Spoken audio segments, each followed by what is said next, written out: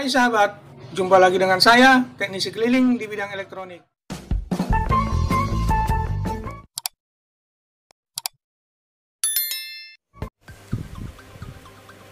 Nah, di video kali ini saya akan bertutorial cara menghidupkan lampu rumah dengan menggunakan baterai 3 volt. Nah, bagaimana caranya dan apa-apa saja bahannya? Silakan Anda tonton video saya ini sampai dengan selesai supaya Anda memahaminya. Oke, baik sahabat, saya akan mulai tutorial saya. Demikian lampu LED ya. Nah, ini adalah lampu LED yang mana lampu LED ini menggunakan arus listrik 220 volt yang sering ada di rumah kita. Nah, di video kali ini saya akan membuat alat untuk menghidupkan ini sahabat dengan menggunakan baterai 3 volt. Bagaimana caranya? Oke, baik. Ter terlebih dahulu kita sediakan transistor sahabat TIP 41. Nah, kemudian resistor 1 kilo. Kemudian ini piting lampu sahabat untuk tesnya saja nanti. Nah ini masih asli 220 volt. Dan yang terakhir adalah satu buah terapung sahabat terapung bekas saja. Nah ini adalah input 220 volt dan ini output CT 12 volt tidak ada CT 12 volt 6 volt juga bisa sahabat nah Caranya cukup mudah. Kita akan rangkai. Nah, kita ambil trafo tadi sahabat. Nah, trafo yang ini adalah 12 volt CT 12 volt 0 220 volt sahabat. Nah, trafo ini adalah trafo bekas. Jika tidak ada trafo yang 12 volt CT sahabat, 6 volt juga bisa. Nah, kemudian kita ambil transistor tadi sahabat Nah, untuk yang kolektor kita buat di CT 12 volt di sini. Sebentar. Nah, kita buat di sini sahabat untuk kolektor transistor. Cukup mudah membuat alat untuk menghidupkan lampu rumah dengan menggunakan baterai 3 volt sahabat.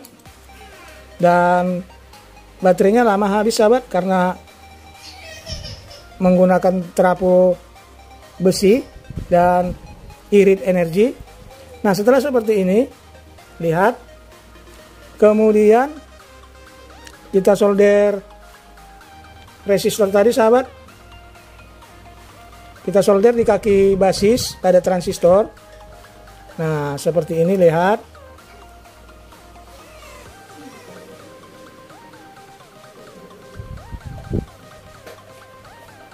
seperti ini nah kemudian untuk kaki resistor yang satu lagi kita buat di 12 volt juga sahabat pada trapo nah seperti ini mohon diperhatikan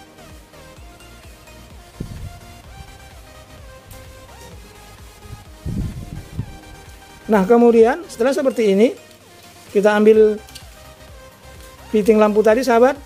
Kita sambungkan kabelnya ke 220 volt. Nah kita sambungkan seperti ini.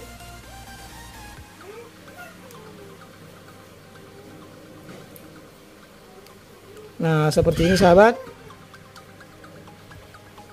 Ini ada baiknya di selasi ban supaya kita tidak tersengat listrik karena ini menjadi 220 volt sahabat Nah, seperti ini jadinya. Nah, kemudian kita buat kabel untuk baterai sahabat.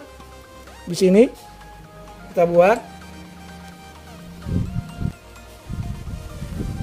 Nah, kita sediakan dua buah kabel sahabat. Nah, untuk arus baterainya kita solder.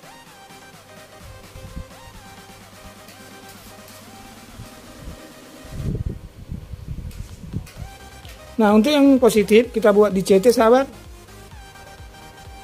Yang positif di CT.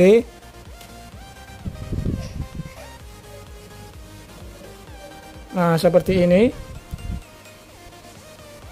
Nah, kemudian untuk yang negatif kita buat di emitor transistor. Input negatifnya sahabat.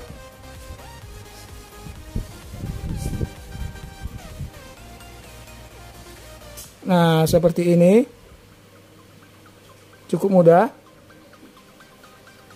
Nah, setelah seperti ini, alat untuk menghidupkan lampu rumah dengan baterai 3 volt sudah siap sahabat. Nah, kita akan tes. Nah, ini masih asli 220 volt sahabat. Baru saya beli. Nah, lihat belum ada modifikasi. Kita buat di sini. Nah, seperti ini. Untuk jaga-jaga mati lampu sahabat. Nah, lalu saya akan ambilkan baterainya. Sebentar. Nah, kita menggunakan baterai kecil saja sahabat. 1,5 volt kali 2 Nah, lihat yang ini adalah positif, lalu negatif. Kita buat di negatif, sahabat. Nah, seperti ini.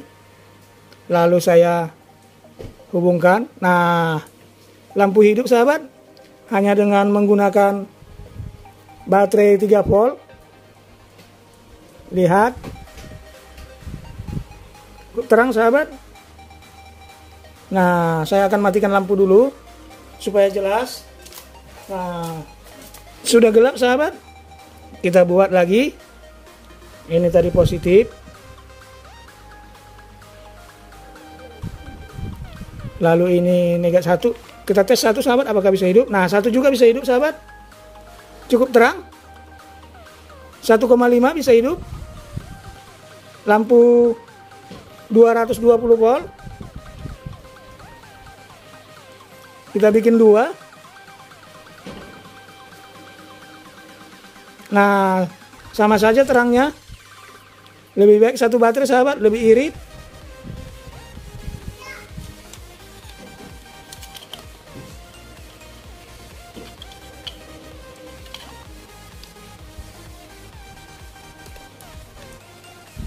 hidup dengan menggunakan satu baterai nah demikian Semoga bermanfaat. Terima kasih Anda telah menyaksikan video saya ini. Sampai jumpa pada video-video saya berikutnya. Di video berikutnya saya akan mengulas lagi tentang ilmu teknik yang lain. Jangan lupa kritik, saran, atau komentar. Silahkan tulis di kolom komentar dan salam kreatif.